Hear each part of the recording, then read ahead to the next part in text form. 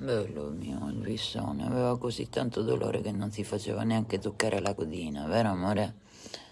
Ora è guarito, quasi. Ora l'abbiamo medicato, vero? Perché non l'ho sentita subito questa lesione.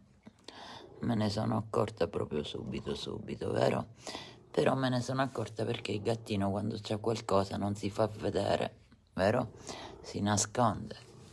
Lui è un gattino particolare, timido, se c'è gente strana scompare, vero? E qua c'è sua moglie, tesorina, che non poteva stare fuori, vero? Doveva venire qua da suo marito.